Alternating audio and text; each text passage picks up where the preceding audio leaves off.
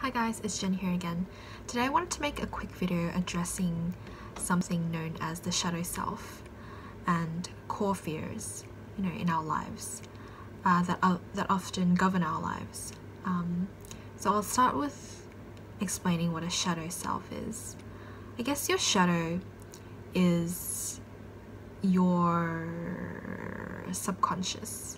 Okay, so if any of you are familiar with Freudian psychoanalysis and his theory of the iceberg, um, you will know that the tip of the iceberg, which is very small, um, in his theory, is what you know we're able to see about someone.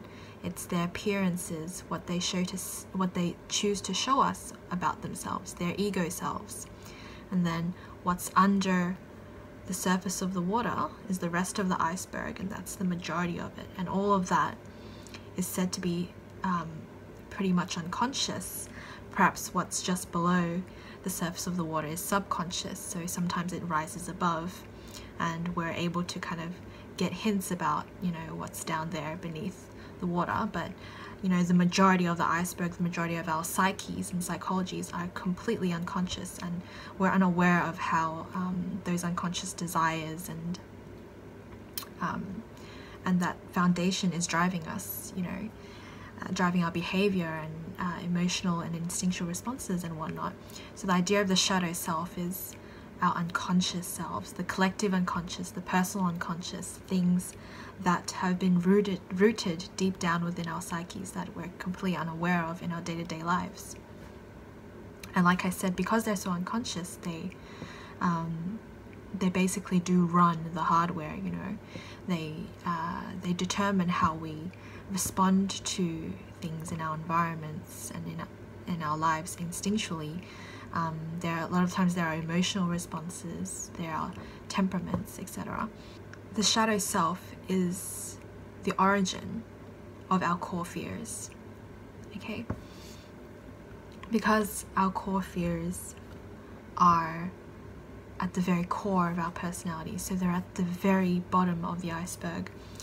And what they tell us is um, and what they are, I guess, is a direct manifestation of the traumas that we endured during our early years in life, our childhoods.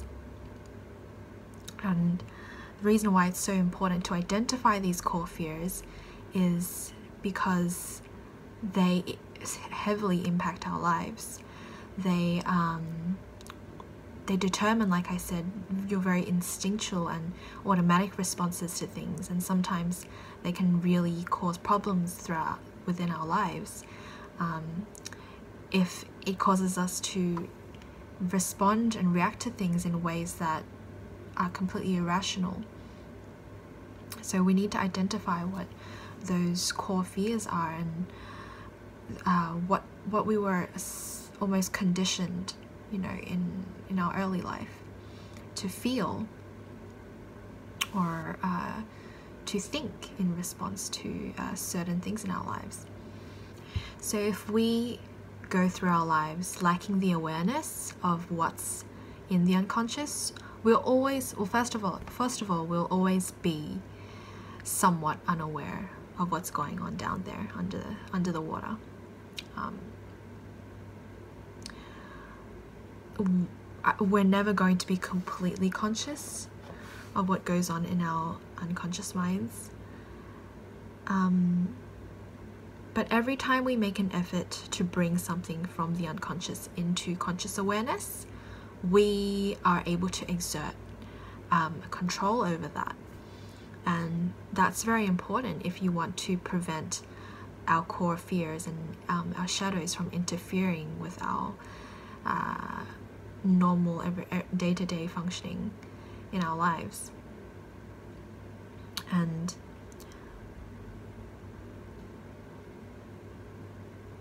how do you identify these core fears?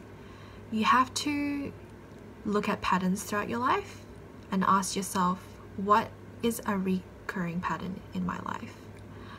Um, have I always had, you know, relationship issues? Have I always had uh, problems with authority and um, respecting them? Um, have I always had a fear of abandonment? Uh, have I always been insecure in my romantic relationships? Um, what else? Have I always had a problem with commitment?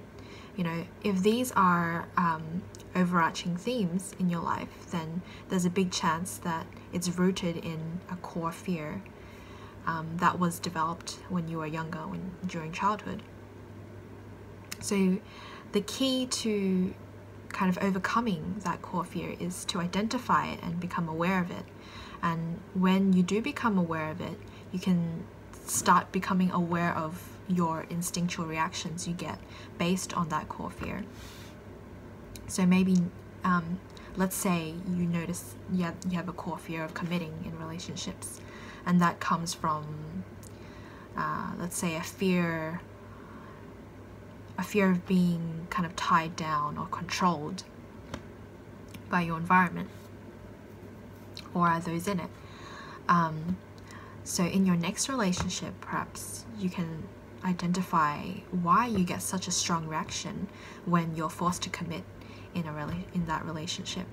Um, and you can perhaps you can realize it as a part of your own psyche, um, as a as a manifestation of your core fear rather than um, a problem about the relationship itself or even worse the other person so you you begin to shift you you begin to shift your awareness from the uh, external object or the relationship itself to your internal world um, which is your psyche and your core fears or subconscious.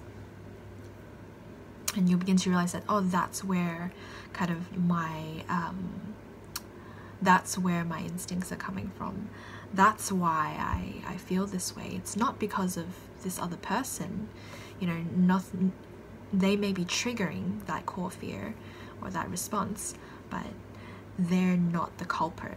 You know the culprit is within you. It's your shadow self. It's your core fear that's pulling the strings. It's controlling your every reaction and every behavior. So that's why um, it's very important to identify what your core fears are. And along with those core fears, and if you dare to go any deeper, you can have a look at your shadow. Okay, our shadows are our, you know, very unconscious desires deep, deep, deep down into our psyches that most people are probably not aware of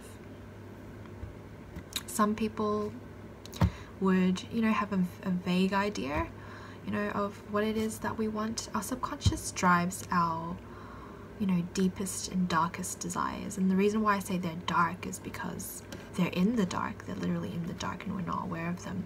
And because we're not aware of them, they they actually become very frightening when that desire does manifest itself in uh, reality because we never saw it coming. We were never aware of it to begin with. We didn't even know it existed. So, um, having a conscious awareness of your sub of your unconscious um, has many benefits, has many advantages, because you have the advantage of uh, controlling those desires when they come out. And you also have an awareness and knowledge of your own potential. You know and oftentimes that potential can be a bad one can be a destructive potential. And if you're able to identify that potential before it's acted out you can control it. Um, so yeah um, I won't go into the shadow self that much in this video although I might in another one. But in this one I just wanted to yeah point out your core fears uh, why they are important um, why they are so interesting as well. I hope I hope you found that interesting to me. It really is. Um, like I said our core fears usually developed in our early years in life. You know um, oftentimes during our childhoods critical periods of development um, often associated with parenting. So you can think about how you were brought up, what parental figures you had, what um, important figures you had when you grew up. Um, and, you know, parenting is hard. Uh, don't blame your parents for it. I'm sure they tried their hardest, but um, most people aren't aware, you know, of the impact of parenting. We're all, all of us have core fears, you know.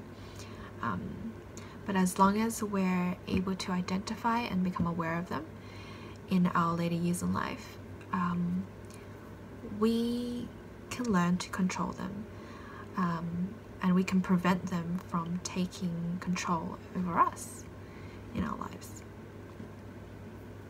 I hope this video was educational or interesting or helpful in any way and I'll talk to you guys next time.